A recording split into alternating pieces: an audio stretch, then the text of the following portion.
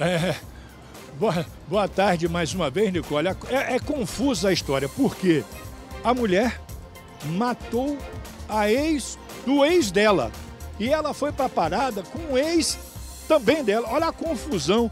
Mas quem vai esclarecer toda essa situação, um crime que aconteceu na madrugada, o pessoal, a equipe de Rotan entrou de serviço e meia hora depois de entrarem em serviço, os policiais da quarta CIA de Rotan já deram uma resposta, prenderam a autora do crime. Tenente Maurício, que é Rotan Comando hoje, que é o comandante da Rotan hoje aqui no entorno, ele vai nos dar as informações de como aconteceu toda essa situação. Tenente Maurício, boa tarde, seja bem-vindo ao nosso DF Alerta. Como foi essa situação? Bom, no início de serviço de hoje, é, as equipes de Rotan foram informadas de um homicídio que aconteceu no Jardim Ingá, em Lusiânia. Diante dessas informações, as equipes de Rotan iniciaram diligências no sentido de identificar, localizar e prender os autores. Diante das informações, é, fomos informados que o autor seria uma mulher, uma mulher por nome Débora. Diante disso, as equipes em diligência conseguiu abordar a Débora em sua residência, com isso logrando o êxito em efetuar a sua prisão.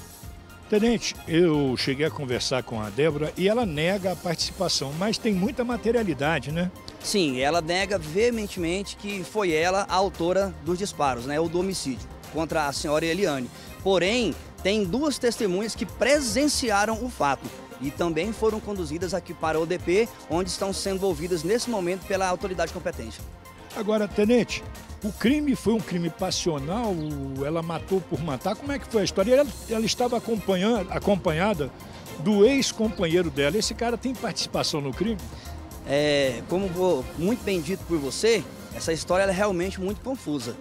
Ela estava com um cidadão que era ex dela e o Almauri, que também era ex, foi junto. Ele correu e ela acabou efetuando o disparo na vítima. Inclusive, ela mata a Eliane em um terreno baldio ao lado da casa do ex dela. Exatamente. O cara deixou a Eliane na braquiária e fugiu, sabendo. Fugiu, sabendo, e mesmo assim deixou ela lá e foi embora.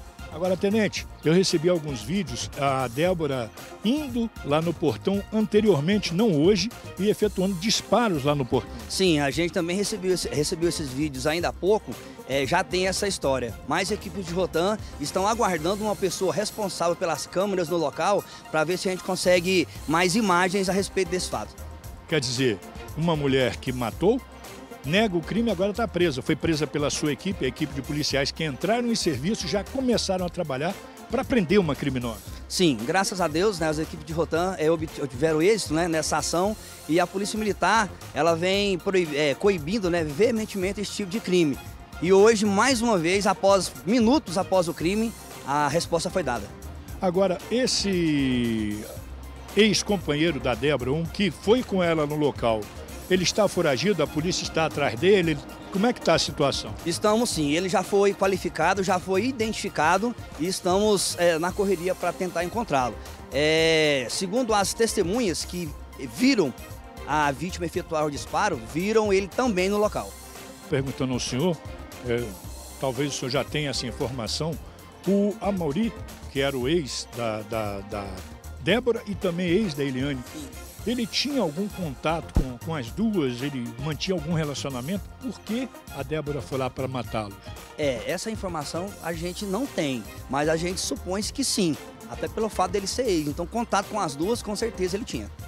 Mas não tinha mais nenhum relacionamento? Que a gente saiba, não. A Nicole está perguntando, tenente, já que nós temos uma audiência muito grande aqui nessa região, se o senhor pode passar as características desse Luciano, as informações onde ele trabalha, por onde ele anda, para que, de repente, alguma informação dos nossos telespectadores chegue até a Rotan e o telefone também, que eles possam denunciar. É importante que fosse repassado sim, mas no momento a gente não pode. Até porque se a gente repassar, pode ser que alguém o avise e ele soma. Então a gente, por enquanto, não pode repassar. É isso aí, Nicole. Voltando para o estúdio, tenente, é óbvio, né? Eles querem prender esse elemento, querem colocá-lo atrás das grades. Eu vou agradecer, tenente. Muito obrigado aí pela sua participação. Precisando, DF Alerta está aí disposto sempre a ajudar a Polícia Militar do Estado de Goiás. Claro, Baga, a gente está totalmente à sua disposição. Beleza? É isso aí, Nicole. Volto para o estúdio com vocês.